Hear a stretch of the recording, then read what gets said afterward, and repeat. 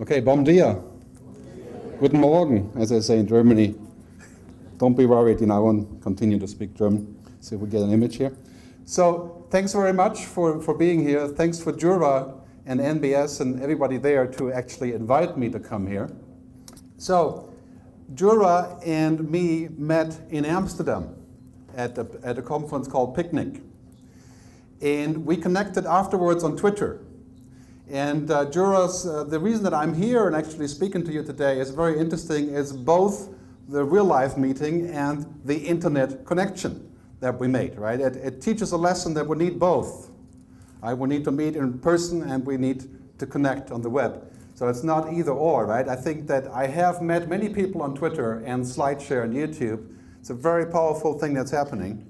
Um, I was also invited to speak yesterday at the Fundação Dom Cabral, so I also want to thank them for helping to bring me over here. And this was a very good session yesterday we had with the CEOs. Here's my Twitter handle, uh, G Leonhard. Uh, if you want to uh, connect, feel free. Uh, we're going to make this a presentation available at mediafuturist.com for downloading the, the whole thing. So it's about 100 pages. You can download uh, sometime tonight when I get back from the bar with Jura. So um, I was born in Germany, but I moved to America to be a, a, jazz musician when I was 22. So if I speak too quickly in English, just wave or tell me to slow down, okay? Um, and I, I've picked up a bad habit from America. So what does a futurist do? Well, it's really a simple story. I look at basically ideas.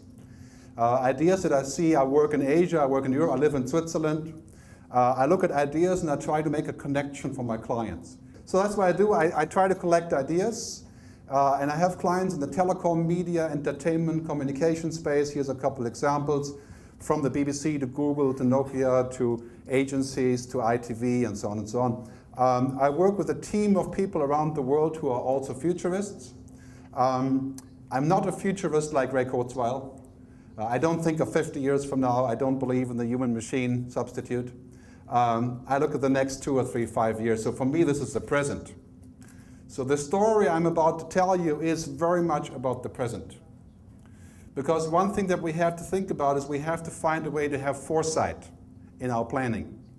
Because many of us, of course, are running businesses, so you're always busy chasing tomorrow, you know, chasing the immediate thing, right? It's nice to have some foresight. I have an iPhone application. If you have an iPhone, uh, just search for uh, Media Futurist. It's a free application. Will also be out on Android next week. So futurism, I, I, I took some inspiration from um, the chief of Google, Eric Schmidt. Uh, I watch a lot of videos on the web from interesting people, and this is what Eric is saying about the future. My view is that, that you, you asked the question, if I may, in sort of the wrong order. The right way to answer the question is, what does the future look like? And then how does everybody's models adapt to that? Yep. That gives you the question of the day. What does the future look like it? And how do we adapt to it? The future in Brazil is obviously different than the future in Switzerland or in Indonesia. Right? So I cannot talk a whole lot about Brazil. I, I apologize because I don't know much about Brazil. It's my second visit. Uh, I hope to learn more about it in the future. Is the microphone okay? Okay, good. So um, the record industry, the music industry is famous for doing the other way around, right? See what the future looks like it and try to prevent it. Right? So the success of the music industry show speaks for itself, right? The industry has been reduced by 50%, 30 billion to 14 billion, if you're lucky. So we wait another five years, it'll be minus five. We have to, we have to pay for them to live. So what does the future hold? How do we prepare for it? That is the key question of the conversation today. Um, there's a great saying, if Henry Ford went to the people and he asked what they wanted, they would have said they want faster horses. Instead, he made the car. Okay. So we cannot always go and talk to people and say, what do you want now? We have to go a little beyond the obvious. Right? We have to use our own imagination. We have to have some foresight especially now in Brazil, because you're right on the verge of broadband, mobile, you have a lot of young people, right? It's exploding. You need some foresight. If you only think about tomorrow, not the day after tomorrow, you won't have enough foresight. Around the world, this is what Eric Schmidt said at the Barcelona World Congress on mobile, he said, from now on, Google is all about mobile first. Mobile first. This is a very big step for Google, and of course, it's happening as a response to Twitter and, and to Apple as well. But mobile first, that should be the way that we think about communications. The computer is the past. In developed countries, the computer is everywhere. It's being replaced by the mobile phone, by mobile access. Right? Look at the numbers here for mobile usage. This is an old number from 2007, right? It says 44 million people in Brazil will be using mobile internet in 2012. And this is an old number, right? Let's make it 100 million. If 100 million people in Brazil are using the mobile internet at low cost with cheap devices, it changes everything that you do. It changes how you sell, it changes how you do politics, it changes how you get media, it changes everything, and not all to the good, of course. Right, that's another discussion. But uh, the chief of Google, of course, has no, you know, making that shift in this direction is quite obvious for them. It's all about this. Not this phone, but it's all about this. Mobile, social, networked, real-time, in control. That means the customer, not you, is in control. Let's not get confused about this, right? When people get connected, they get control. It's as simple as that. Growth of mobile phone, 10% of mobile phone penetration gives 1% growth in, in domestic product, in GDP. So the economy of countries is directly related to broadband and to mobile.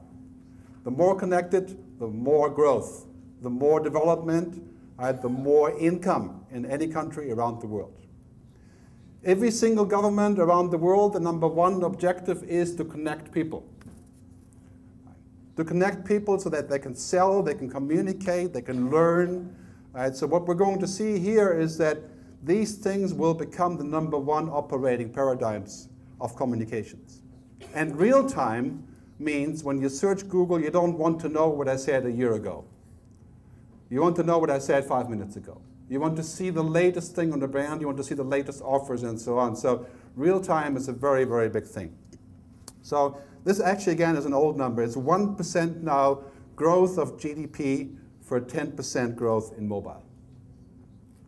And of course, the Brazilian government has just now, Jura told me on the way over here, said that their broadband is a top priority. In Finland, you can sue the government if you don't have internet access. Right? In Finland is a guaranteed right. The right of free speech includes the right of internet. In France, of course, they want to disconnect us, right? Because we're doing something that they're not supposed to do, right? Kind of interesting, but of course in France everything is possible. So, what we have now is kind of scary, right? We're sitting here and we're looking, you know, if you're my age, you're looking at this stuff and you say, I don't understand. It's like, what is this? This is crazy. This is madness, right? Why are people uploading 65 million photos to Flickr every single day? Who has the time? People uploading 14 hours of video every minute on YouTube. Who's wasting all that time on this? Why? 8.6 billion minutes spent on Facebook every single day. 8.6 billion minutes. Wow, just everybody's become a huge time waster, right? So you're, you're wondering about this. Why is this happening, right? This is very scary, I think, for a lot of brands. What we have here is an unprecedented change in communications and in commerce. Uh, keep in mind when we talk about social media, that word is useless, right? Really what we're seeing here is social business. It's a change in the operating system of business not just in media. Uh, it's a change from being asocial, like television, right, to doing things differently because we're connected. It has nothing to do with Twitter or Facebook, right? So if you think that you can fix the problem by having a Facebook account, then you're looking in the wrong direction, right? It's a lot deeper than that. So back in uh, a little while ago, I used to be a student of theology, I have to admit, you know. Uh, so I know what happened here when Gutenberg invented the printing press was the same big change. All of a sudden, people could read the Bible in different places, and they could be translated into German, which was unheard of, right? And you did not have to go to church to listen to the Bible. You could read yourself if you could read, right? The church hated this. The church said you can't print the Bible. It's not, you're supposed to have it in Latin and spoken or handwritten because only we can do it. So Gutenberg made a deal with the church. Right? And the church became more powerful as a consequence of the printing. That is exactly what's going to happen in media. None of the media companies like the internet, really. Because it, it, disrupts the, the scam, right? It disrupts the idea. It disrupts the idea that they are the broadcaster, you know, the monologue. Right? Now they have to have a conversation. But every single media company is now making deals with the internet. Right? We will see all the stuff that we've seen, the dangers merged over into just becoming part of the solution. And where is this going to happen first? You have to answer the question. It's not going to happen in America. It's not going to happen in Germany, Switzerland, Europe. It's going to happen in the so-called developing countries. Brazil, Russia, India, China. It will happen here first before it happens in America. The problem of downloading music or getting everything for free, in parentheses, will be fixed here first. Will not be fixed in America, right? Because the business is stagnated. It's not moving. So I think you have a great chance here to exploit the explosive market, people connecting to the internet. We're going to take questions, by the way, afterwards, so just kind of save them or Twitter them if you want. Not that I have time to look at it. But here's the change. If you're in the marketing business, right, expect 30% of all advertising to shift to digital, interactive, mobile, social, and video in the next two to three years. We've had a recession, and of course, things were delayed, everybody pulling back, right? Now we're going back into the flow of things. Every single brand is saying, why are we doing big ads in Rolling Stone magazine? Can we do an iPhone app? Right? Can we make a video channel? You know, when I saw the trailer from NBS in the beginning, I can just feel the creativity is sparking. Right? That is what you need. You need to move in this direction because that's the future. Television, newspapers, radio will not go away. Mass media will not go away. That's clear. Television is just as important, but it will converge with the internet. Television and the internet will converge 100%, meaning all of the shows will be catch-up TV. You can watch it anytime, any location, any device, any platform, right? It will converge. So your job, if you're in the marketing business, is how to combine the mass medium with the niche medium with the internet. That is the mission. Looking at this projection I got uh, a couple days ago from Screen Digest, right? The growth of content on the mobile, right? This is mobile music, mobile games, mobile TV, video, and the App Store. The average person that has an iPhone spends $10.90 a month on buying applications for the iPhone. $10 a month on buying stuff that's otherwise free. That shows you people are buying stuff when they see value and when the package looks good. Right? The money is there. Anybody that tells you that people aren't buying content on the, on the internet is not true. We just haven't found the right package. And that's what we can see with the iPhone and the Android world is that this kind of growth is going to be phenomenal. Every doctor will have an iPhone app. Every hospital will have iPhone apps or phone apps, not just the iPhone. In fact, I think the iPhone is the smaller part of the equation. Right? But all of that will happen in the next couple of years. So this kind of advertising, I didn't pick this by purpose, I know Cook is a client, but this kind of advertising is noise. On the internet and on the mobile, we don't want noise. That's why advertising on the internet today is pretty much useless. CPMs, making noise, banners, interruptions. We just tune out. What we need on the internet today, what we need in the future for advertising is this, is attraction. This is an application for the BMW that you can download and play for free. That's also an ad, right? But it's also a game. It makes sense. It's relevant, it's entertaining. So we're moving from noise, this is true noise, Bangkok, Thailand. I shot this myself. This is a huge screen in Bangkok broadcasting to everyone, right? Commercials all day long, right? And imagine the noise, you know, this is like obviously nobody's listening, right? I mean, how expensive is this? Right? And it's useless. That is not our future. Our future is attraction. Our future is going in this direction. The iPad. So,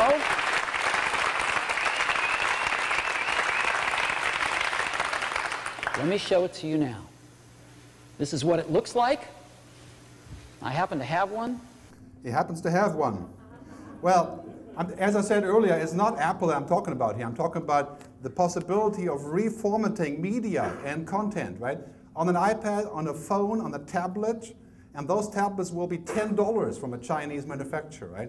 You can do all kinds of creative things with ads that people perceive as content, right? This is a whole different world. Look at this projection of business and consumer mobile applications, spending on applications $7 billion in 2012 spent on business applications for the mobile. Again, every university will have an, an, application where you can learn when you're in the car or on the bus. Right? Every single brand will have a way of connecting with them through mobile applications. This is a huge opportunity. Also looking at these stats from, from a recent Ruder Finn study is saying that mobile phones are the strongest social connector in the world. And I'm talking about interconnect, uh, internet connected mobile phones, right? Messaging, emails, and so on and so on. But uh, studies have shown in America that 74% of Americans would never give their mobile phone to somebody else. Not for five minutes. The most powerful device in the world is now becoming available for you to market and to find people, to connect with people. Right? So this is a very big trend.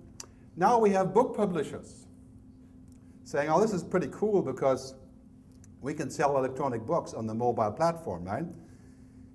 Of course, there's a big problem here, right? If we're thinking that we're going to get the same money then for the real book and put copy protection on it and force us into all kinds of schemes, it will go the same direction than the music industry.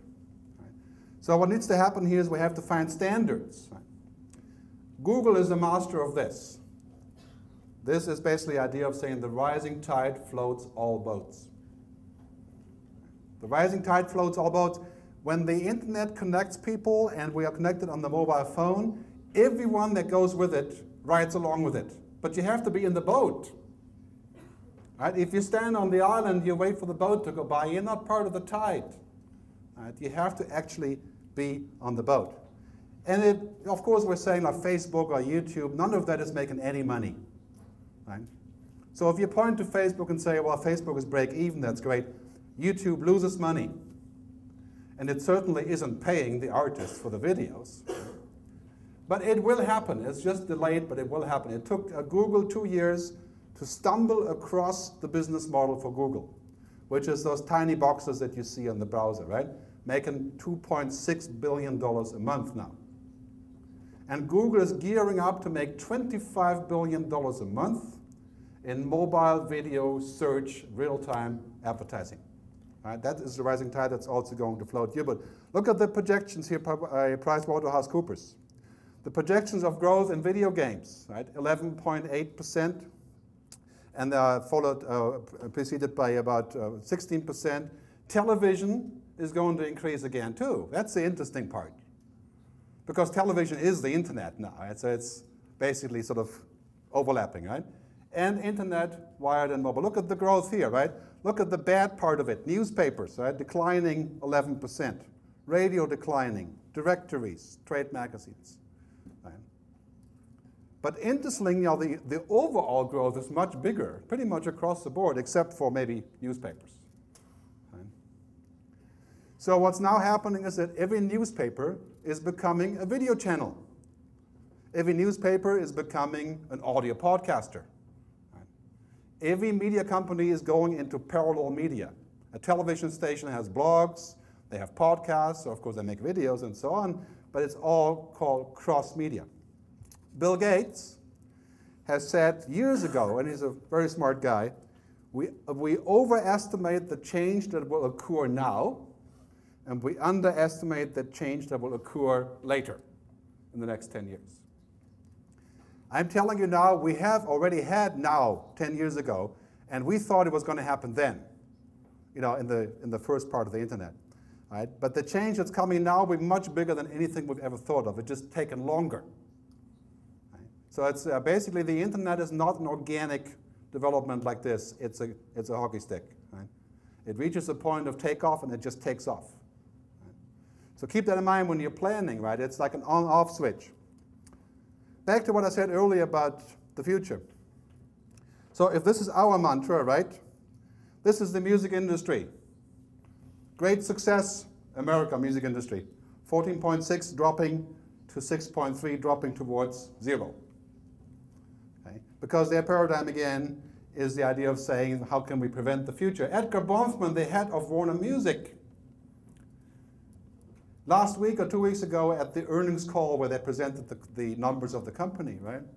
He said basically that free streaming of music is not positive for the industry and clearly, we won't do it. Okay? What does that tell you? It's like, is he running the universe? Like, people are going to do free streaming, they already do. You're not going to license it? Well, that's great. But I mean, which way this is going to go, right? You're going to say, I don't like this, but who cares? Do you make any money? The question for artists, writers, composers, authors is not whether you can stick to some sort of principle from 50 years ago. The question is whether you can get compensated for your work. Right? As Larry Lessig, Creative Commons, has said, compensation, not control. That, that's the goal, right? You want to get paid for your work. So it's not about those principles that somebody in some boardroom things up, right? It's not about that. I call these toxic assumptions right, in your mind that poison you. Think about maybe some of those are in our minds as well, right?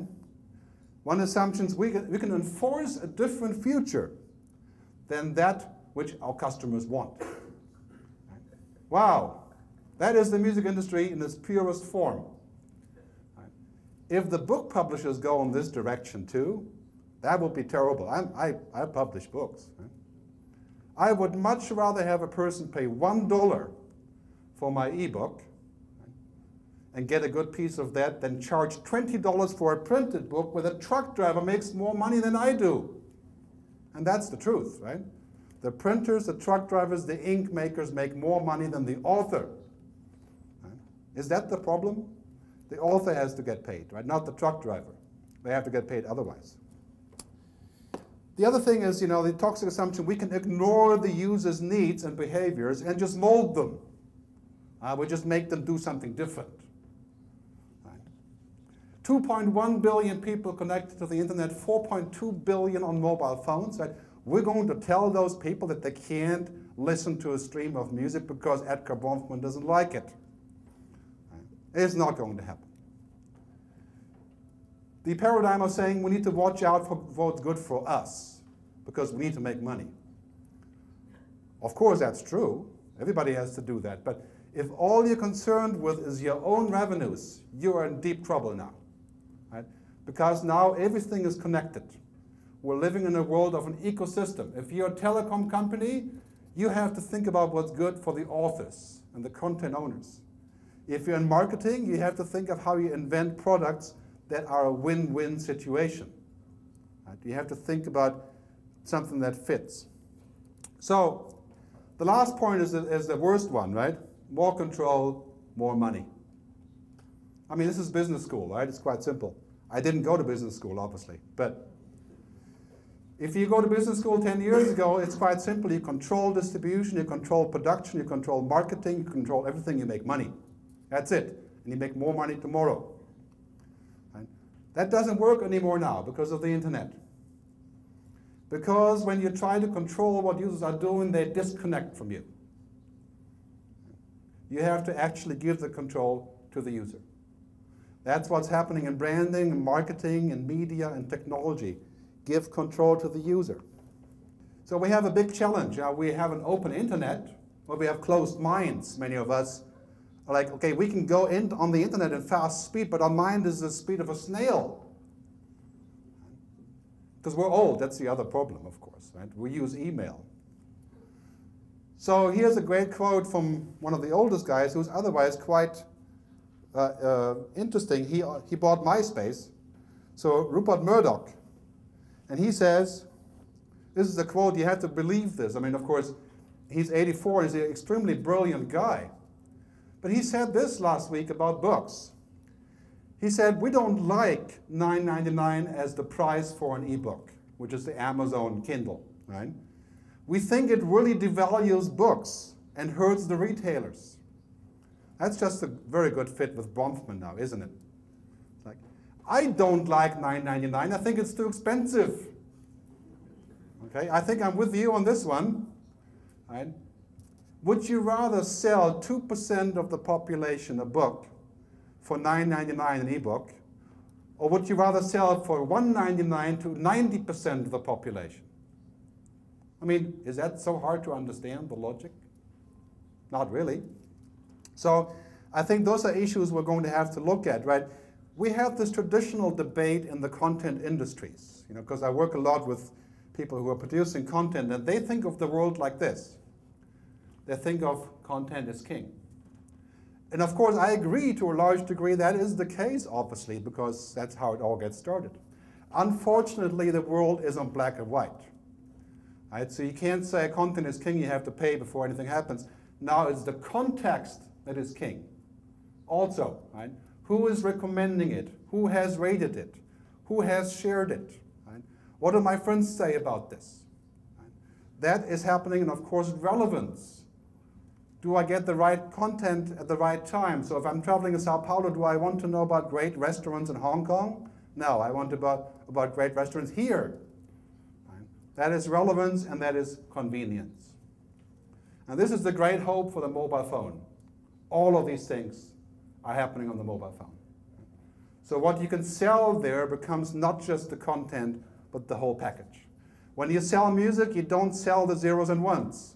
You sell the rating, the playlist, the curation, the other media, the access, the membership, the fan situation. You sell everything around the music. That's what we're going to see. And for branding, it's the same thing, right? This is the very simple problem in a nutshell in our minds, right? I should be talking because, you know, I like control, just like everyone else likes control. Controlling your destiny, your security, and all these things. So in the old days, this is the paradigm, right? More control, more money. And if you're not 15, then you know what I'm talking about here, right? Because that's how it worked. And we felt very safe with this model. So if you're a brand, you would not go to your, to your clients and you would say, you can get my stuff for free. In return, you put up videos about my stuff and you can say whatever you want. That's a crazy idea. That's exactly what Ford did last year in the Ford Fiesta movement is called, right? Giving away free cars in return for making videos about the car. And you could say anything you want. Right? So what's happening now is that we have to de-emphasize the control. That is our only way to move forward, right? It's not a question of principle. It's a question of moving the money into one direction and finding multiple new sources for new money. It's not that we don't, we're going to forget about having control. Of course, we want that. It's not an absolute question. We need to, however, figure out if we keep on saying that we want control, do we just forget about the money? If you're in television or if you're in films or publishing, if you like control more than money, you won't be here in three years. If you're a brand and you want to control the message, you want to control, you won't be here in five years because the user wants a piece of that control now. And that's, and that's what's happening pretty much across the world. So in a black and white world, black and white world, we have a yes or no on the control, right? So you can say, okay, I give up all control, then you're Skype, right? Or maybe Google to some degree, right? You're somewhere in the middle, right? Or you really like control, you keep on moving the button around, right? This is a strategy. It's not about yes or no. It's about the right amount at the right time. The most successful brand that is utterly controlled and dominated by one brilliant guy, Apple. I love Apple stuff. But this really pisses me off. I still use it, right? Because I've decided to play along. Right? Apple is the most successful company in the entire period of the recession for the last two years. People buy expensive stuff regardless of what happens. And they control everything. So you can say, okay, it works. It works. It can work. But it's the exception. I would not recommend you try this. First of all, nobody is like Steve Jobs. That's one thing. The other thing is, it's very expensive and it has one chance of surviving. It's a very insular thing. So what we're seeing here is that the answer to control is to say, it depends. It depends when you can be open, when you can be controlled. Think of Google. Who thinks of Google as a company that is controlling? Anyone here? Yeah, you can, you can be frank, right? Yes, okay. So there are those voices and that's good, right? But by and large, people think of a company that's not like Apple because they give us everything for free, right? Google is making free what has made money before. Email, operating system, mobile, documents, calendar, pretty soon a box like this. Right? So Google is perceived by many people as not being so much about control. Right? But Google, of course, does not publish the source code for the search engine. Google has a lot of control over our data. So Google has found a pretty good compromise, I think, in the open and control paradigm. So when you run a brand, this is what you have to do. You have to say, at what point can I afford to open up and give something that the user feels like I'm giving something? And at what point should you find a way to retain a bit of control? Right? This is a very, very difficult proposition. So the Fiesta movement is a great example, right? Ford gave 100 cars away. You could apply by making a video. This was, I think, two years ago in the US, right? And you would be published as a user, right? And you can publish any video you want about the Fiesta. Was no censorship. You could say it completely sucks, a terrible car. Right? You just publish it.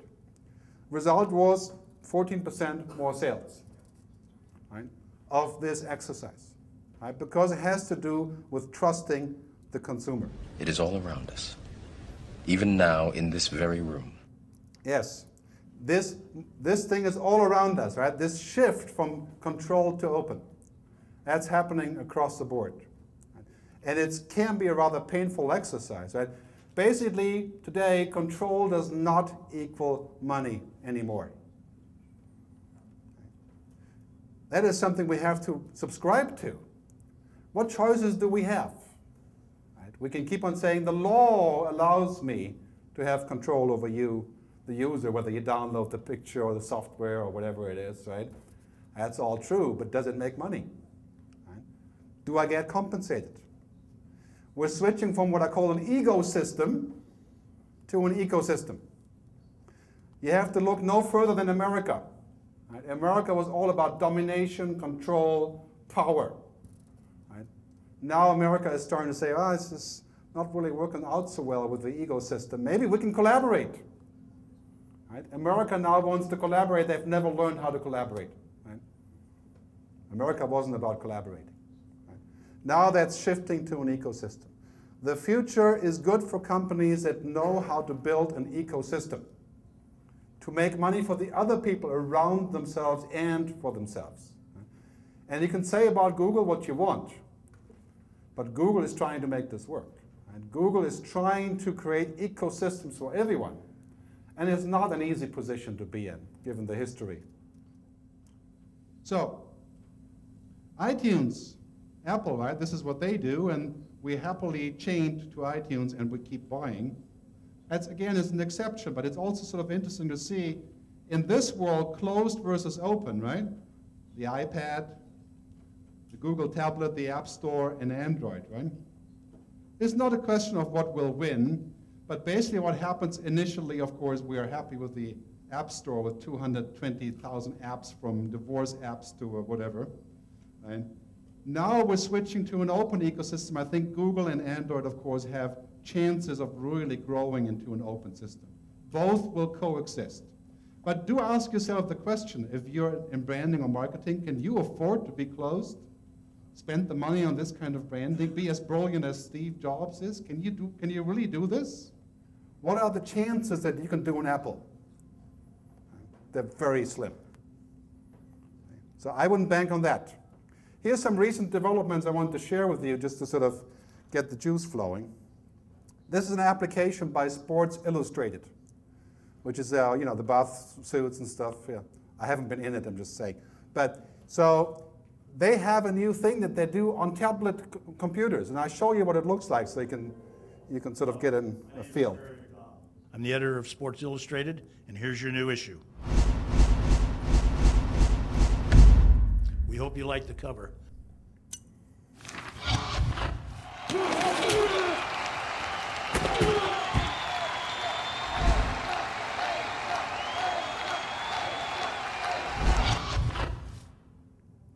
Let's get a look inside.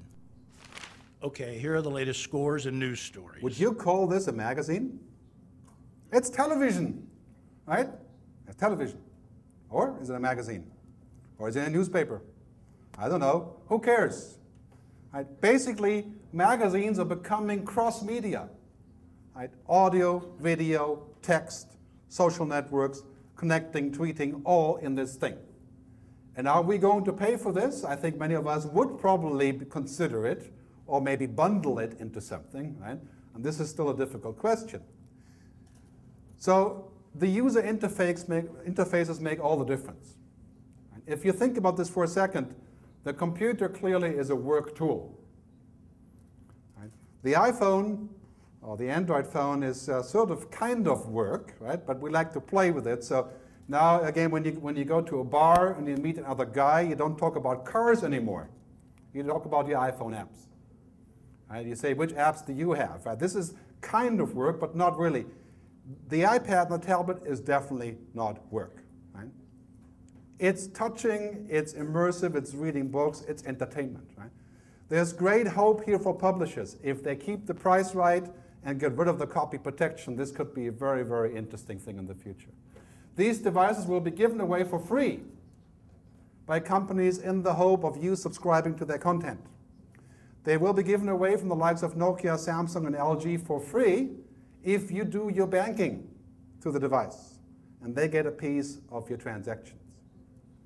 Every single African will have one of these boxes presented by somebody because they don't have banks, real banks. Right? They have to use this. They will also measure your blood pressure and whatever it is, if you so want, and transmit it to your doctor. So you can look at the latest chat about your health problems.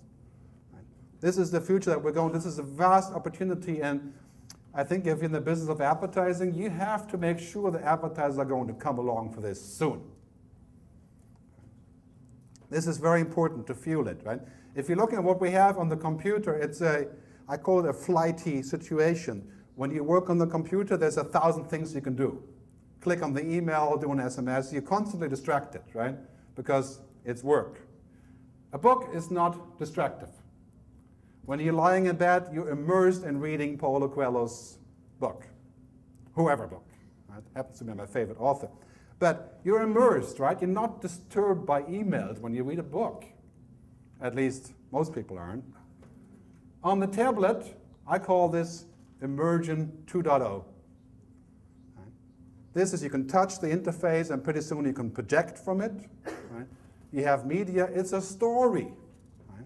There's huge potential in this sort of scenario, right? Especially for books. Think about this for a minute. Every student around the world has to buy books for, for learning. Africans don't have books. They can't afford to ship the books from Europe to read about the Harvard Business Review study.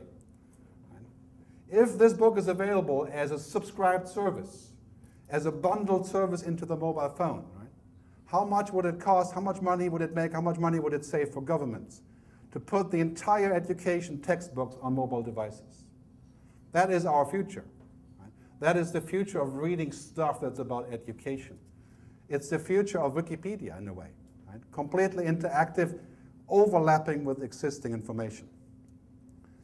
This is the iPad showing the New York Magazine, New Yorker Magazine, uh, in a store somewhere that somebody filmed when it came out. Now, if you're in the advertising business, right, you have to think about this. This is advertising for the lean back consumption. Somebody on a couch doing content, advertising becomes content. If you imagine over the screen to have a big banner saying buy, buy diapers now, it's not going to work. This device will know who you are, where you are, if you allow it, what your preferences are, what you have opted in, right? all the information. That sounds very scary, of course, on one end. But on the other hand, it will provide stuff to you for free as a result of what you're doing there, right? providing the data. Right? This is not an easy issue, but it's something that we're seeing. I think we expect a lot more of this superimposed reality over the mobile phone. A thing called Wikitude. The Wikitude web browser can be used to examine our environment, to find what we as humans use in our immediate surroundings for clues, data, and information that help us make decisions. Wikitude, the augmented reality browser. So what this does is you hold up the mobile phone and you see information superimposed over the screen. Right? Any building, any landmark or so, right, is integrated into the screen. This will become a standard. And even scarier, when I'm on a date, I can hold up the screen, identify you, go to your Facebook profile, right, as we're dating, and I can decide not to pursue the date. But anyway, imagine what this could do for personalized, engaged conversational marketing if we allow it. And here is why we're going to allow it. We're going to allow it because the benefit of what we're going to get back in return will be so huge that we will take a limited approach to saying we'll share some of our data, including location-based data. In, in, Asia, of course, already widely used. Right? We have concerns about this, but uh, this is something I think that we can solve. Of course, there's lots of issues here. With books, right? We're approaching the Napster moment. Anybody here remember Napster from 10 years ago, music? Right, of course it was big in Brazil, right? 75 million downloads in six months. Okay, now what's happening with books is this. Two lights, two cameras, and where the action happens, which is an acrylic platen and a book holder covered in toolbox liner. To use it, you simply load in a book, like so, center it on the cameras, and press this button. With each press of the button, I capture two pages. Captures two pages. There's a hundred thousand people or so doing this now with every single book, capturing books, so make those downloads available for free. Right? Free is going to happen to books. Right? How can we make money with books when the copy is free? Well, the answer is, of course, to an author, you never made any money anyway. Right? I mean, to most authors, right? This is a concern, of course, for popular authors, right? Right? So again, as I was saying earlier, most of the money of a book is not made by the author. Right? So if you can find a digital way to deliver this that gets you paid, everything should be fine, right? This is the way uh, forward that we're going to see for what I like to call content 2.0. The future of content is compensation, not control. This is very hard if you're in the middle. If you're a publisher, a media company, a rights holder, you don't really like this idea, right? Because you're selling the copy. Right? So it's a tough place. Many of my clients are on this turf, and we are trying to figure out business models how to connect the artists and the writers. This is a machine that does three-dimensional printing. Anybody has seen something like this?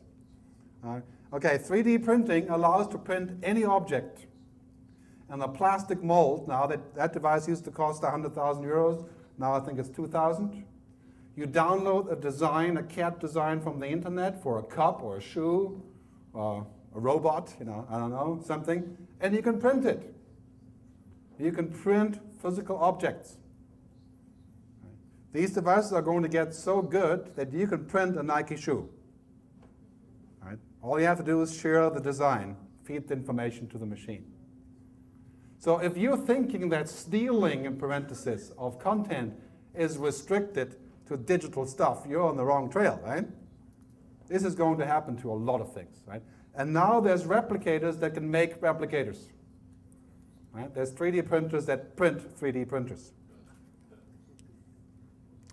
So the entire industry, the, the chief of Sony said last year at CES, Sony does not sell stuff.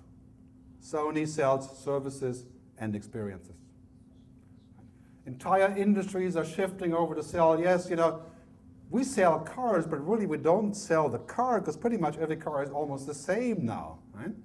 We sell the service, the experience, the brand, the feeling, the soft stuff is what you sell, right? Why do you buy something? You don't buy it just because it's good stuff, right? Because of the experience. So talk about experience, right? Many of us are on Facebook. Now there's a new thing happening on Facebook called social games. Anybody know about Farmville? If you have kids, you may know about this, right? Virtual business. Last year, virtual items were worth $6.2 billion. People buying virtual flowers for each other. Right? Just to show this example, this is not a friend of mine, I'm just showing an example. There is this amazing Facebook application called Farmville. Some of you may or may not heard of it, and it is so addictive, and I've fallen in love. So basically, what you do is you create your own farm, and you get money and coins and all types of things, and you can buy like um, strawberries, and you can plant seeds. You can buy strawberries and plant seeds. Now, here's the interesting part about Farmville, right? It's only on Facebook. People buy 800,000 tractors. Tractors, you know, on Farmville with real money. Right? They make $200 million last year. So this kind of idea is really quite simple. Farmville is free. You play it a lot. You want to have a better tractor or a machine gun, you know, to kill your neighbor farmers. So you buy it. Right? This is a very interesting business model we're going to see. For example, can you imagine in music, you're buying a virtual item, right? You're buying, for example, a greeting by John Mayer on your website. That plays when people come to your website, right? Those kind of things are going to be sold by a lot of people. Uh, here's an interesting German guy. He actually um, works for Google, and he came up with this idea of Google goggles. Anybody know Google goggles? Okay, if you have an Android phone, you should try it. Hi, right? I'm Hartmut. This will boggle I'm your mind. engineer at Google. Hi, I'm Shailesh, Product Manager at Google. We're here to introduce Google Goggles, a visual search application for Android phones. Until now, the only option for web search has been typing or speaking. Now you can search by taking a photo. Let's try this book. Just open Google Goggles, fill as much of the screen as possible with the object, and take a picture.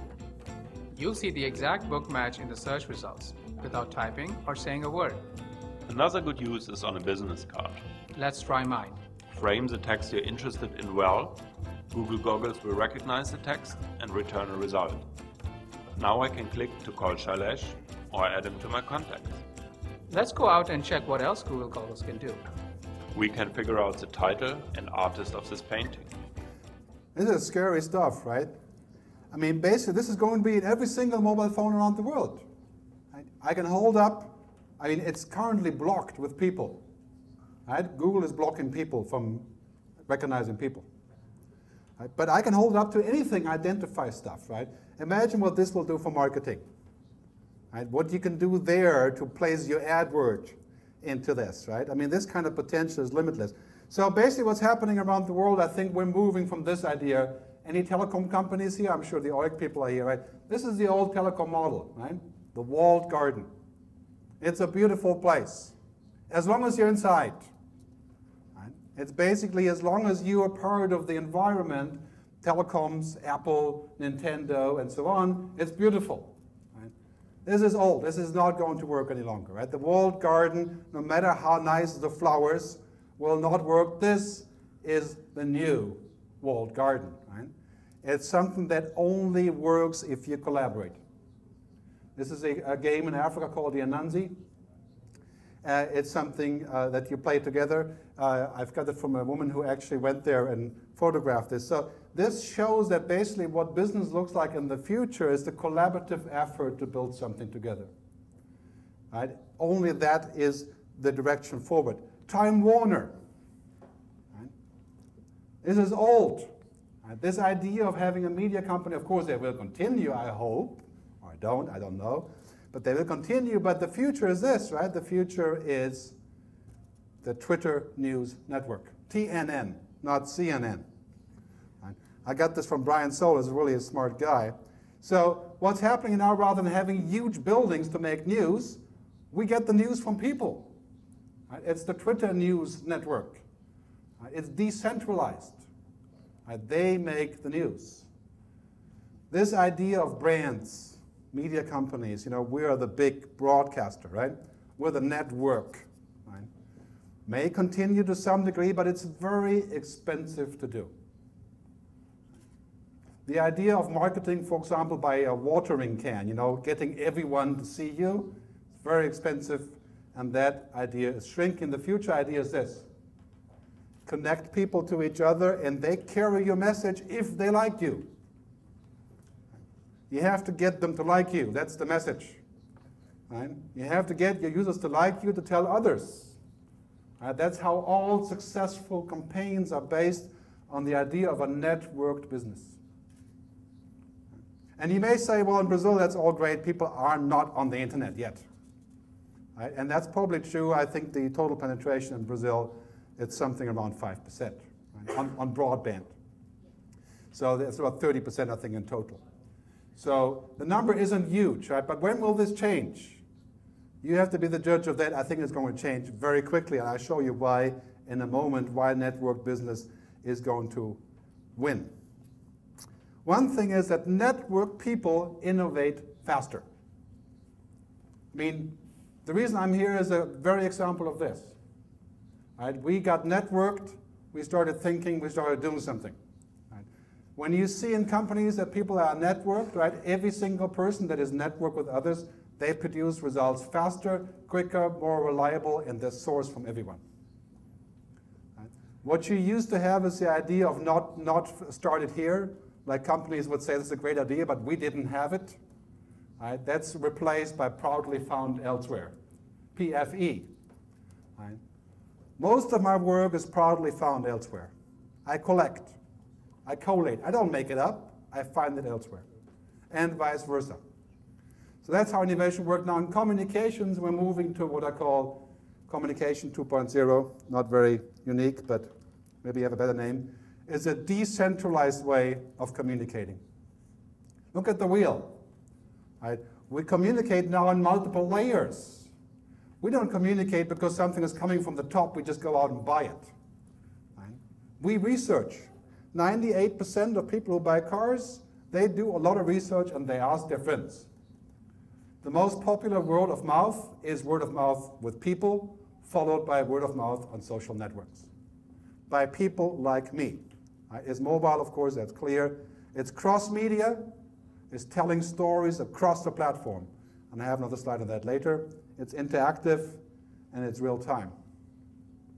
So if you're thinking about a campaign or a marketing idea, it should fulfill those notions, right? Decentralized, viral, mobile, interactive, real time. So I want to talk briefly about social media because that's the topic, right? After all, supposed to be the topic. Okay. This, of course, is a, not a good idea. It's not a good expression, right? Social media is sort of like, uh, you know, you could, you could argue that if you have a fax machine, then you're in the fax machine business. You know, it's not about this. It's a much, it's sort of a misnomer. I think it's much better to use the name networked media, real-time media, user-driven media, engaged media. And that's true for business too. So everybody on Twitter, have you noticed, is a social media expert right, that you can hire. Right? Calculations have shown that next year, every single person on Twitter will be an expert that you can hire for social media. So let's not confuse things, right? When we think about social media, it goes a lot deeper than saying when you're on a tweet or Facebook, right? Let's turn this upside down. The future of communications are these keywords. First keyword is you communicate, you buy, you transact when you're out and about. That, that is what's happening everywhere, especially with kids, right? When you're out and about, that's the keyword. Within your tribe, if you want to read a great book, you should read Seth Godin called uh, a book called Tribes. I think it's called Tribes. Um, basically, the idea is we all have about 150 people that are around us as a tribe. Right?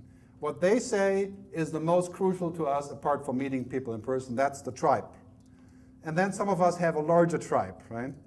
But that's basically what happens. Everything that happens within the tribe is the most, most meaningful. Right? So that is the way our communication happens. And it's strangers and people like me.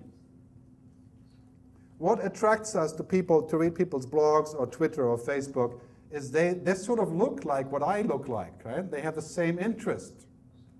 So the last year I've connected with 150 really brilliant people from all over the world, and I blatantly take their stuff for me, and I sell it to you, not just kidding. But they do the same. This is basically what's happening is we're starting to feel better about strangers that are like me than about the CEO of Nokia. Right? We have more trust in strangers on the internet than we trust the CEO of a phone company. So what is the solution if you're in marketing? You have to use this to your advantage. You have to get influence right, in this network at the right time with complete transparency under the control of the user and because they trust you or don't trust you. The last part is the most important part, right? Trust is the currency. Trust is the only thing that you can't lie about. Right? And on the internet, it's completely obvious. If you've lied, everybody will talk about it. HSBC, the bank in England, they announced three, uh, two years ago a deal for all students to start free credit cards, free checking, free everything for the entire duration of the studies in England. Three months after 100,000 people signed up, HSBC said, well, we're, you know, we need to make some money here, so we're changing this, and it's 100 pounds now for the same deal. They just changed it.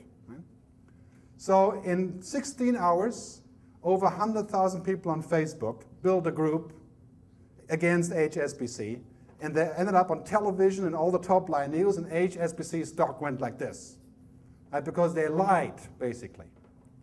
So a day later, they announced that we're going to extend the free offer for five years to every person that had already signed up. Right? That's what happens of trust on the internet. Right? So um, this is Google social search, right? They just switched on this buzz thing that you may know about which got a lot of controversy, right?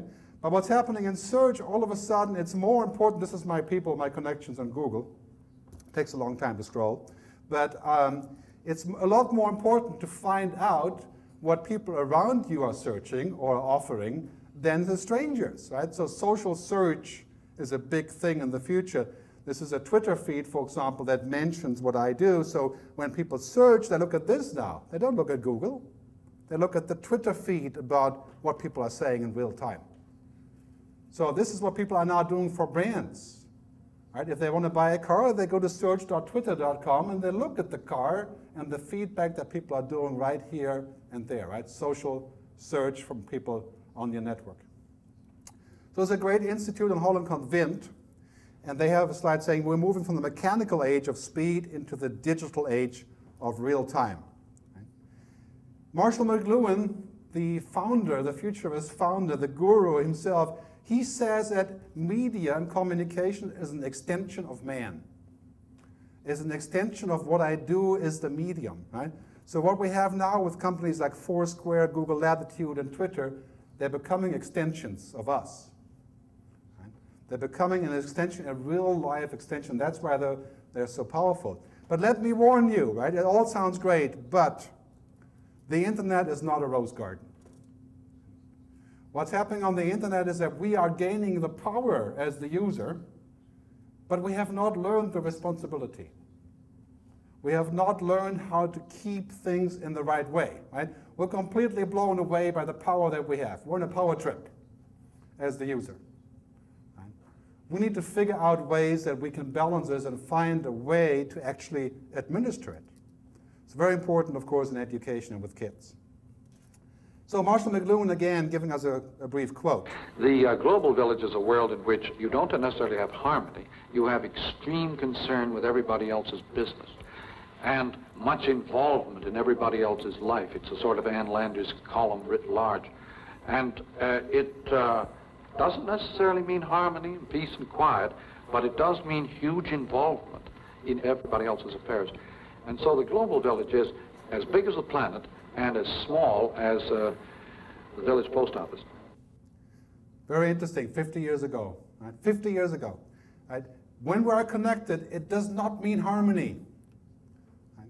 Because it means chaos. Yeah? We're connecting to each other, creating a huge amount of noise. But think about what happens when you go to a, a show, an opera, or a classical orchestra, right? When you, when you come in, people are tuning up, it is a hell of a noise. Right? Everybody's tuning up, trying to get the instrument ready, right? It sounds just like noise. But when the conductor shows up, right, it's a beautiful piece of music. What we have on the internet right now is a lot of noise. Right? Part of the job is to conduct into a song. Right? This is what the brands are looking for with agencies now. They're looking for you to filter the noise, right, to curate, come up with ideas, and filter it down to something that you can actually use, right, to find out how this works. And as Marshall McLuhan again said, it's the framework that changes, not the picture. Again, going back to social media, if you think that you can have a Twitter account and that is social media, right? You've looked at the picture, but not the framework, right? The framework is connected consumers are different. You have to use them, empower them in a way that we can still, and this is the key question, right? Do we still need advertising when we're all connected? Did we actually only have advertising because there was no internet? It's a legitimate question. I think it's a question of saying, well, if my friends and my tribe is telling me about the good stuff, why do I need advertising? What we're going to see in the future is advertising becoming content. Advertising becoming its own meaning. This is my uh, a summary of a mail I got from SlideShare saying what I do. And uh, uh, in terms of sharing my slideshow, so some, some numbers there. But basically, SlideShare, many of you know SlideShare, I'm sure, and it's G. Leonhard and SlideShare. Last year, I got 15 speaking gigs from SlideShare, right? Because I share my content rather than advertising for it, right? The content itself is the marketing. The brand is the content, right? You as a brand are a publisher. Every brand has become a publisher publishing the message about what you do. Right? Using services like this. Right? I'm going to skip this video because I don't want to be here forever. So, you may be saying, okay, this is all great, but in Brazil, you know, we're, we're not connected enough for this.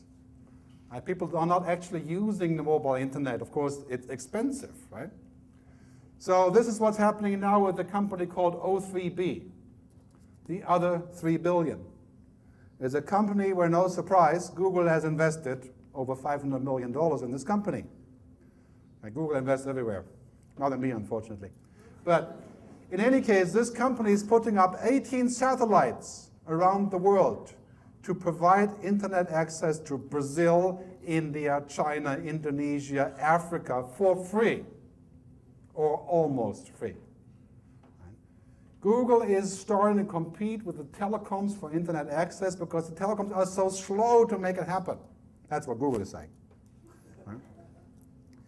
Because now that everything is real time, the networks are really busy, right? Everybody's streaming and downloading, and you know, it's, it's, it's a huge drain on the network, right? So Google is saying we want people to connect at one gigabit per second.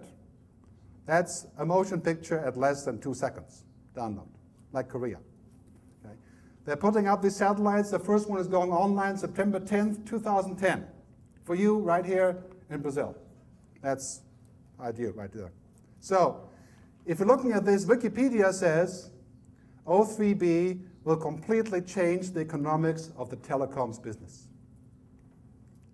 So if in the telecoms business, you have reason to invent quickly and to move forward and to reduce the prices, right? Because competition is coming, especially in countries like Brazil and so on. And even in the US, Google is rolling out high-speed internet at one gigabit per second in certain cities on their own.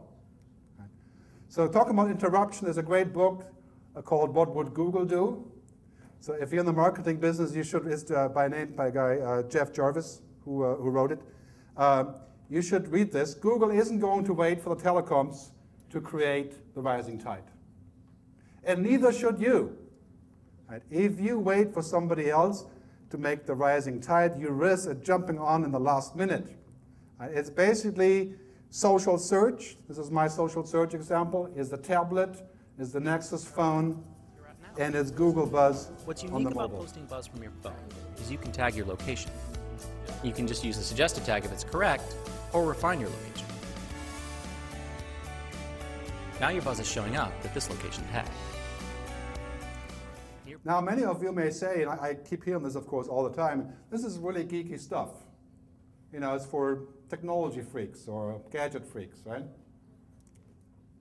Well, very soon, in the next couple of years, we're going to see my grandmother buy stuff on her mobile phone because it'll be as easy as a remote control for television.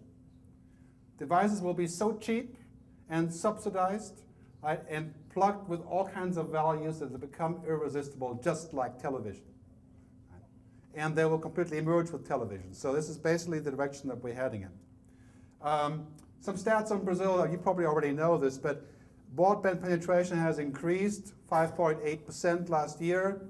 Uh, the growth was 36.5% last year, and there's an increase in broadband penetration also on the mobile, right? So basically, Brazil is approaching what I call broadband culture. The title of my next book, free book. So, broadband culture. Right? A lot of people in Europe are saying, well, that's really like broadband unculture, right? Because it's like just noise, garbage, right? I mean, people are oh, arguing Twitter is just blah blah, meaningless babble. Right? I would argue that it's just as meaningless as television was, right? and is, right? if you're tuned into the wrong channel. Broadband culture is what's going to change a lot of these things if we're looking in this direction. Broadband culture here in Brazil, number two worldwide on Twitter is Brazil. You probably already knew this. Because I guess you like to talk, or maybe SMS are expensive, you know, maybe both. So Twitter and Facebook and social services are bound to take away a lot of the SMS revenues from the operators around the world. If you have a flat rate data plan, why do you SMS? Right? If you don't want to send to, just to your friends, you can just send a message on Twitter, right? It's free. That is going to change the equation. All telecoms will move into social media in the future. Uh, this kind of idea, what's happening on the web, right? It's swelling, right? We have seen nothing yet. 65 million images per day on Flickr. It will be 6 billion when we all have these boxes. Flickr will explode. So this is the business in the future, is to take the noise and to curate it. This is the future of journalism. It's the future of radio, television, the future of brands, right? The, our role is not to make more noise. I mean, of course, our role is also to make noise, but the other part is to make sense of it, to read it. The sense of the New York Times is not to have fantastic writers write about everything and pay them a quarter million to write. That's one of the ideas of the New York Times. The other one is to take the noise and filter it. Because filtering is a very, very difficult job. Because you have to understand the subject matter. That's what advertising agencies, planning agencies, marketers do for brands. They filter the noise and they turn it into an output and an input. That's a big business, right? Back to this question that I was asking earlier. This is probably the answer. You know, in marketing, we're essentially now in this business, right? We're essentially in the business of curating attention. That's the job. People have limited time, limited money, of course, but first of all, they have limited attention.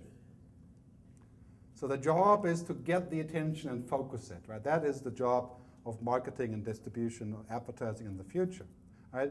We're essentially all in the audience business. We're all musicians right? or actors. I mean, we're essentially in the business of connecting the audience with a brand or a product or something. We're in the audience business. Right? And on the internet, that mission is extremely interesting and very powerful. So this idea of doing business, you know, the domination scheme, right? You lose, I win. That worked for a long time and it was great, right? If you were on top. Right? Now, John Hagel is saying the job of leadership is not to make more money and not just to make more money, it is to make meaning. And your job isn't to just say maximize the profits, but to make meaning in the ecosystem of your company, to create value for everyone. That's a quite a different story. Right? That means your company has to change and leaders become connectors. If you want to be a leader, you're not just a director. That's Steve Jobs, right? He is a fantastic leader, a brilliant guy. He's not a connector. Or maybe he is in some ways, but he's not a good example for a connector. Right? If you want to be a director, you make a movie. But even movies are now made by people who are connectors in teams, virtual movies, right? online collaboration. If you're in the advertising, marketing business or branding, this is your job is to connect your brand, not to direct the consumer? But to just make the connection. So in broadband culture, that's sort of which way we're heading with this, right? We're heading into what was hyper competition, now it's hyper collaboration. And you may be thinking that you must be mad to propose that we can make more money if we don't compete but we collaborate. But I tell you, look at all these successful examples in the last five years. Airlines that are successful, right? Amazon, Skype, all these successful examples, they know how to collaborate to create business together. And I think that could very well be the paradigm of Brazil. Right? When you look at the copyright reform, the idea of how you make money together. Right? That is the key to the future, is to make money together. The key to the past was to make as much money as I can, and if you guys die over here, it's okay. Right? Because I'm still having my shareholder profit. So the idea of the future is hyper collaboration, right? And for a lot of people, I'm amazed at this, right? A lot of people are saying to me, you're talking about communism here, right? This isn't communism, this is capitalism as much as you can, I mean, this is Darwinism, right? Because the future is not the survival of the fittest, but the survival of the ones that collaborate to be fit together, right? That is extremely difficult. So it's not like you're going to get something for free. Right? This is actually harder. It's much easier to compete and to blow people away than to collaborate to create something together.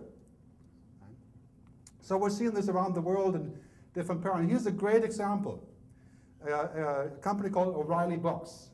O'Reilly's based in uh, California. And what they did is they said, okay, we're writing all these geek books, you know, HTML code and, you know, stuff I don't read. So they said, what are we going to do about the internet? People are copying our books and publishing, you know, how to make web pages and so on, right? So what they said is, let's get together with our biggest competitor in geek books, programming books, right? And form a service called Safari Books. Safari Books offers 15,000 books on the internet, on the mobile, on the reading devices, pretty much anywhere for $42 a month. You can use all the books. Download, print, PDF, share, cut and paste, whatever you want. This is the most successful model that they have ever launched, right? It's a collaborative model on a flat rate basis. Think about your business and telephony. Uh, on, on mobile phones, flat rates are, of course, right? That, that is the key.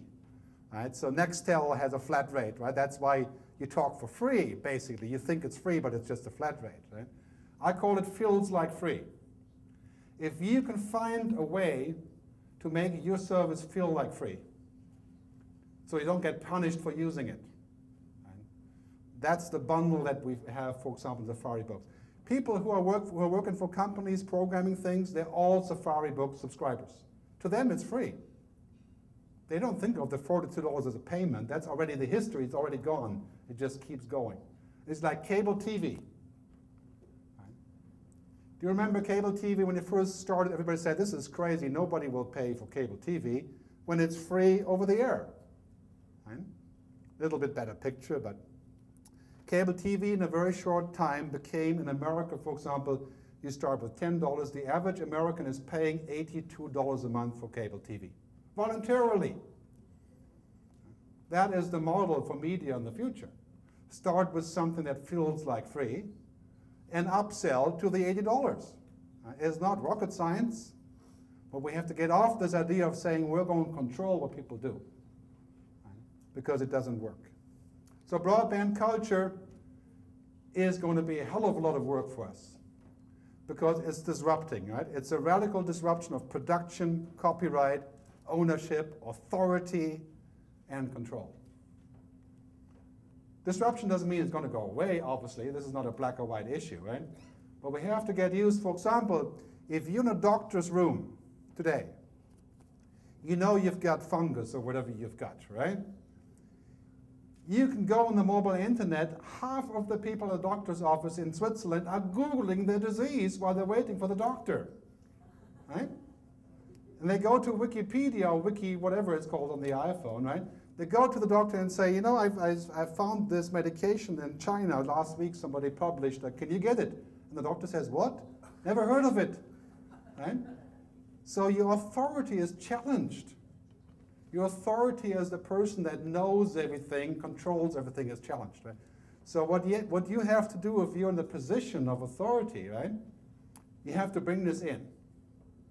Because if you don't bring this in, you lose the trust, right? Next time I come back to the doctor and I ask him again about the medicine, he does, still doesn't know I'm not going back. And that's what's happening across the board, right? We have to get used to this broadband culture shift, the shift of authority, right? We don't want to end up like the music business, right? Saying, please don't kill me, but we're already fried. So the Wii is a great example. Anybody here play the Wii? I love the Wii, right? Because what the Wii has proven is a very simple thing, foresight. The people who invented the Wii said, people are going to get off the couch, move around the room. What a crazy idea for a game, right? You're on the couch eating chips, watching the screen. Right? Everybody said this is a crazy idea. Nobody will buy this, right? Because games are not about moving, right? They're the opposite of moving. The Wii has been the most successful game for the last five years. Right? It's just sort of winding down. And part of the uh, thing that happens, you have unintended circum, uh, uh, consequences of, of behavior changes. That's this. when people change behaviors, you have damage. Right? How can we expect people to use the power of the internet and not create damage? Uh, damage is privacy violation, is uh, identity theft, is crime, cybercrime. That's all the unintended consequences of the power. The answer is not to say, well, we'll never invent this again, or we we make it illegal. The answer is to tell people how they can put the strap over the Wii and not have it go in there. Right? I mean, why would you make the Wii illegal, right? If you can just put it onto your wrist, right? That is what media companies want to do, right? They don't want us to play the Wii, which is the power that we have, right? We need to go to an approach that says, okay, let's prevent the holds and find a sensible way of orchestrating this. And I hope you get to do this in Brazil. What we're seeing across the web, and I think you're feeling this very much, how much more time do we have? No more time, okay. Okay, I'll wrap this up quickly.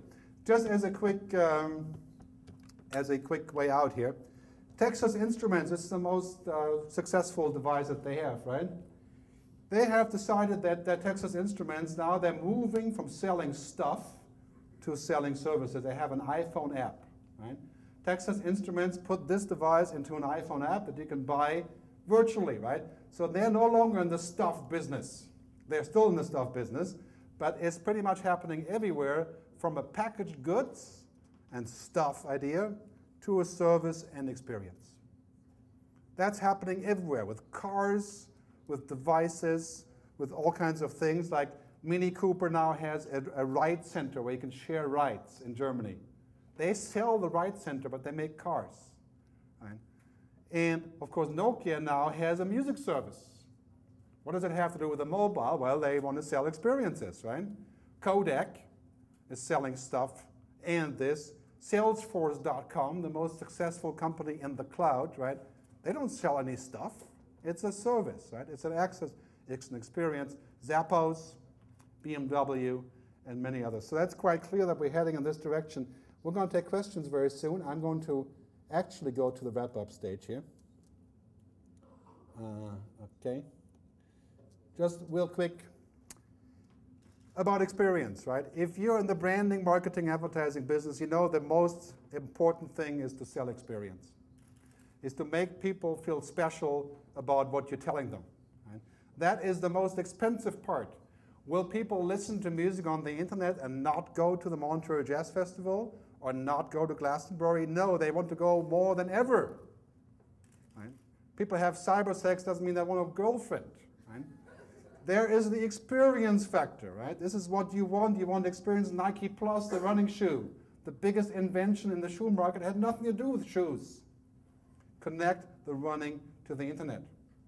You want to reinvent your brand? Think of how you can add experience. Some experience factor that may have nothing to do with what you have in terms of the actual product, right? Jeep has a huge Facebook following, people sharing their experiences, and of course, again, Apple, right? So, in an experience world where we all are hungry for real experiences, the way that we tell stories is changing. And this is the most crucial mission, I think, if you're looking at this, right? You have to tell stories. JetBlue allows people to tell their stories, right? And you have to listen to people, actually. The media story is unfolding like this, right? All of a sudden, storytelling has changed. There's links, there's feeds, there's interaction, right? Other people are telling the stories, right? The Ford site, and this is an age-old book from the 90s, right? Where I think Don Tapscott wrote the book, right? Markets are conversations. Well, this is like Stone Age internet, right? It's finally becoming true, right? So the idea of telling stories, connecting a tribe, leading a movement, making change, that, that's where the story ends up, right? So what happens with a lot of brands is now we're moving into this environment, right? A transmedia, cross-media storytelling, where we have a story and we tell it in videos, we tell it on the mobile, we tell it on television, any which way in the gaming platform, any which way, right? On all these platforms that people are actually using. A lot of people are saying, well, you talk a lot about stuff, let's talk about action. That's the action. When you're thinking about a business, don't think like this. Don't think about a walled garden. Don't think about controlling something that you are inside and your customers are inside and that makes a happy couple. That is possible, but it's highly unlikely. So do think like this. Think of an open environment, a scenario where you can allow people to contribute, right? Determine what you want to broadcast. What's your message? Right? If you're Globo or Bob's or OI, what's your message? Right? What attracts people to your brand? Old advertising is make believe. Right? Coca-Cola as a baby makes you a better baby. Right? 50 years ago. Now the new advertising is understanding. Right? I'll give an example of understanding. Hyundai, the car company, two years ago offered a deal where you could give back the car if you got unemployed. Uh, in America, their, their sales increased by 14%. This is the trailer. A decade ago, Hyundai pioneered America's best warranty to show you the faith we have in our cars. Today we're introducing Hyundai Assurance to show you the faith we have in you. Right now, buy any new Hyundai, and if in the next year you lose your income, we'll let you return it. A simple promise, right? How many people actually return the car? Very few, right? Think of this as a way of saying, well, how do you build trust with your audience, right? How do you move forward in this? Now, I will actually wrap up now. I promised I would. So to wrap this up, as I was saying earlier, this is the recipe for success. Open platforms, open business, open transparency, open for conversation. Yes, you can succeed being closed, but don't try it. Right? Open is the way forward, and I think as uh, Tim Riley, O'Reilly from, uh, from O'Reilly Publishing says, create more value than you capture. That's the paradox of business and communications for the future. When you create more value, you are more value. Right? That is the direction that I'm going with this. So anyway, thanks for your attention. We're going to take some questions now, I guess, right? And you can download the PDF at Media Futurist. Thank you.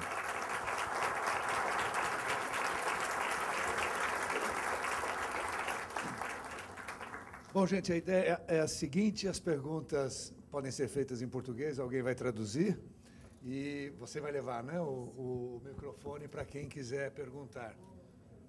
Como é que você vê a tentativa de controle da, da internet, das conexões na China? You could say China has, uh, is basically stuck in the old world of capitalism um, that they're trying to exploit. I think basically what's happening in China is, and this is why I really like Google's decision to possibly leave China. Um, I think this is the last period that we're thinking that people can control and prosper. You know, I think the Chinese government will realize very soon, just like Iran, for example, you can't control and prosper. You can only keep the lid on until the connectivity is much higher, right? So what's happening in Iran right now is, for example, 30% of people are under the age of 20. They're all on Facebook. They're mobilizing, right? There's no way you can put the lid on this like you did 10 years ago. And the same thing is going to happen in China. And I think Google's decision to pull out of China is a great proof that we can maybe still trust them, right? Because they are opposing this kind of idea. I think basically the, it's quite clear for all governments if they want to prosper and to grow, they have to allow people to connect and talk. Right? And that's pretty much China or not, that's the future.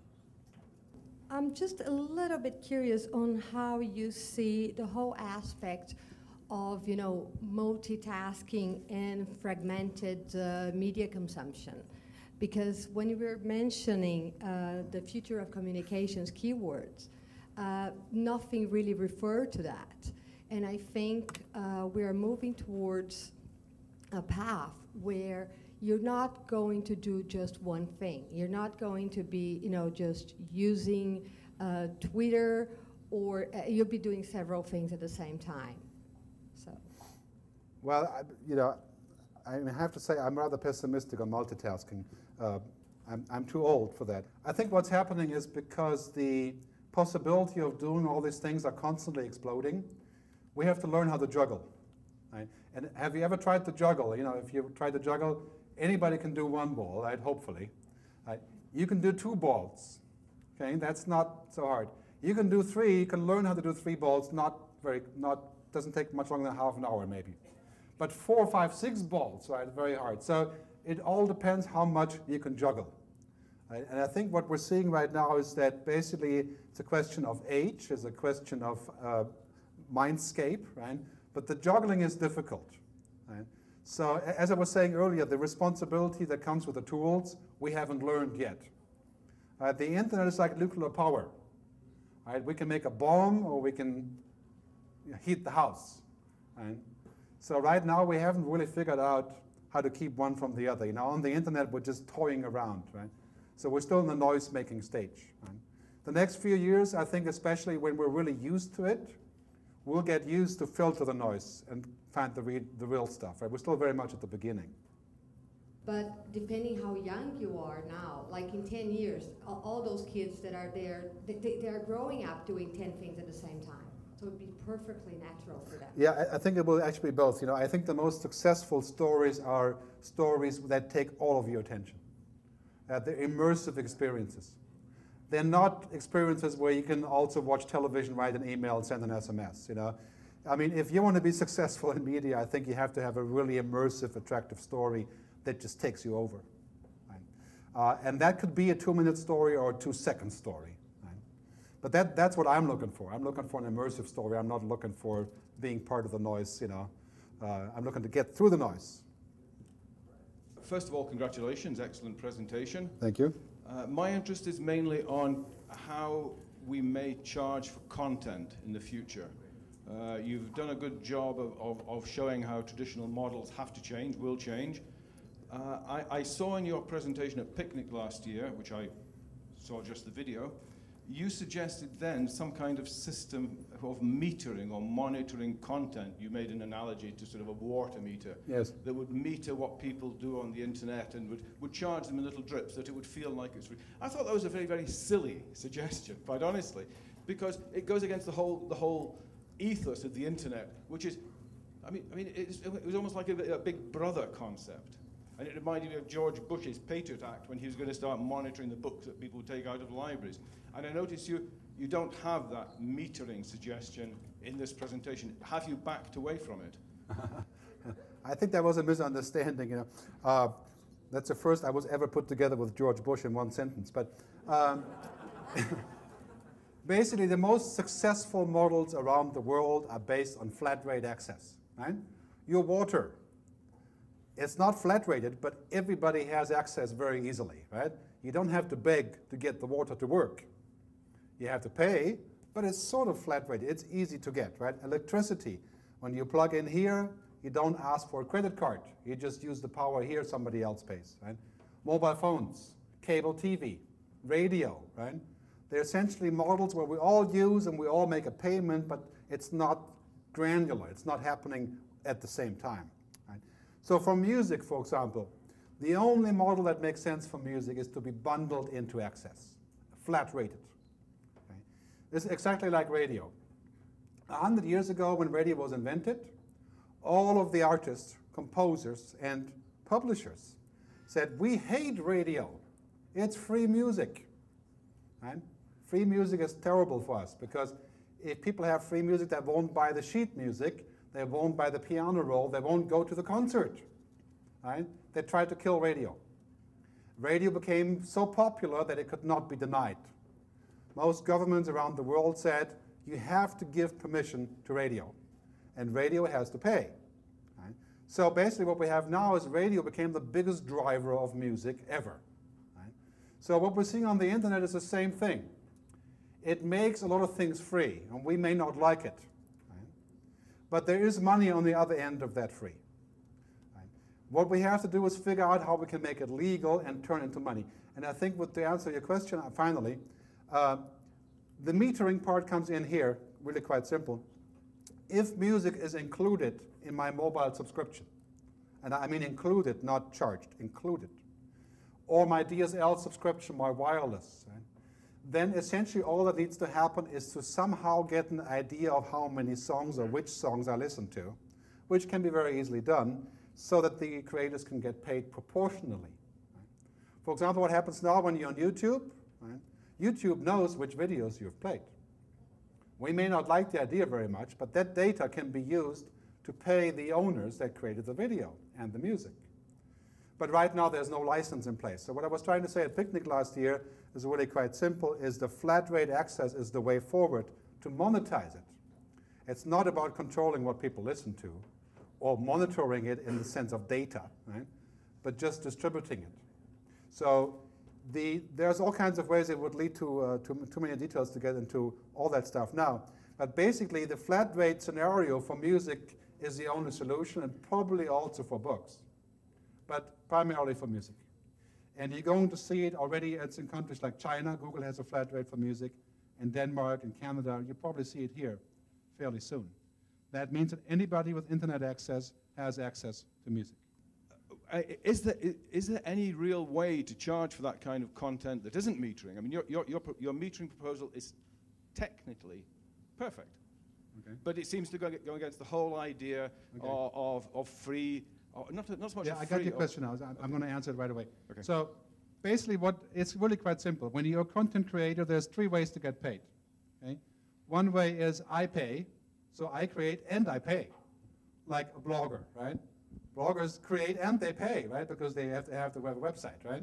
So I pay or you pay. And the third model is they pay. Somebody else pays. That's the three ways. I pay, you pay, they pay. So any model in the future has to be a combination of these models. In other words, if I'm a journalist, I have to figure out a way that maybe some of they pay, some of the user pays, right? In other words, it's a combination of different streams. The New York Times is already doing a very good job at this. So you have a dozen different revenue streams. Yeah? You have subscriptions, you have advertising, which is a powerful model, always will be. Right? You have direct payments, you have voluntary payments, patronage, right? You have systems like, uh, it's called Flattr. You guys may know about Flattr. Right? It's a way of giving credits to authors, right? By using a system of micropayments, right? And you have ways of saying it's completely free, but you can make a payment somewhere else. For example, what I'm doing for my iPhone app, I've, uh, I think several thousand people have downloaded it already. I will not charge for the app.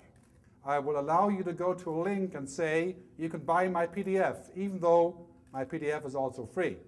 But there's a payment link, right? You can make a payment in the process of looking what I do.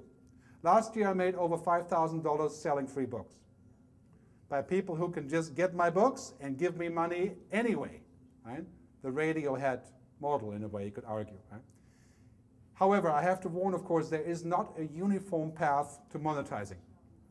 Everybody is in a different position. Right? If Murdoch wants the Wall Street Journal to take money, maybe he can get it. I'd be happy for him. I doubt that's a model across the board. I think what is going to win in the future is a model that works for each, uh, in each place, with each user group, with each kind of content. And therein lies the difficulty, right? So I think the answer is we'll have a mixed model, some free, some paid, some paid with micropayments, some bundled. I see telecoms moving into the market and saying we're going to facilitate the payment for the content by selling ads against it. For example, uh, I know music best, so I'm going to use the music example again, but in Europe it's quite clear that if people paid one euro a week for music, you could make music free. One euro a week, right? And now it's quite clear that if I'm willing to pay a euro a week, I don't have to because somebody else will pay it for me to reach me. Right? Advertisers will gladly pay the euro to reach me. So in fact, it's free. Music is free for me. I, somebody else pays for the, for the profit, right? So basically looking at Europe, for example, 800 million people paying a euro a week for music makes the music industry twice as big in one, in one blow and I don't even pay. So it's possible to solve this problem, right? But what needs to happen, I think this is crucial for the creators, is to give permission for those new models. Right? Is to look at how we can actually make it happen rather than saying, but I really want $10, which is reasonable, right? Of course. And in journalism, I think we have a great position in journalism because journalism is not all about me writing, it's also about curating. Right? It's about looking at other stuff and formulating it. Right? New York Times isn't just a great paper because of the writers, because they formulate, right? They curate the package. Right? The same is true for broadcasters. So I think those models will be unfolding. In fact, I'll be speaking at a conference in April uh, for the New York Times about this topic.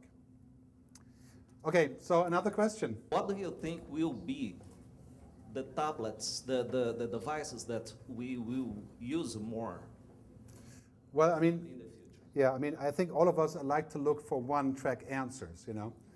There's no such thing here. I, I think basically you have all kinds of different kinds of users, different cultures, different behaviors. They will all use different ways to get the media. Right? So you will see uh, basically cross-platform media. So when you're traveling, you use your mobile phone to watch the news. When you're at home in your bed, you use the tablet. When you're in the living room, you use the, the PlayStation whatever it is, the, the platform will change. But this is where cloud computing comes in, right? All of our media will be in the cloud. All of our contacts, our media, our playlists, they will not sit on my wristwatch or my mobile phone, right? All the information will be up there and I can get to it wherever device I am on, it will be automatically formatted for the device. Right? So what we're seeing with cloud computing is that becomes the key to how we can monetize the content. Right? So I think ultimately it doesn't matter what device you're on, you'll always have the right mix of your content for that device because it comes from the cloud. Alguém mais quer fazer uma pergunta? Então, Gerd, muito obrigado. Muito é um obrigado. prazer tê-lo aqui. Thank e you. a vocês todos. Tá? Thank you. Muito obrigado. Thank you.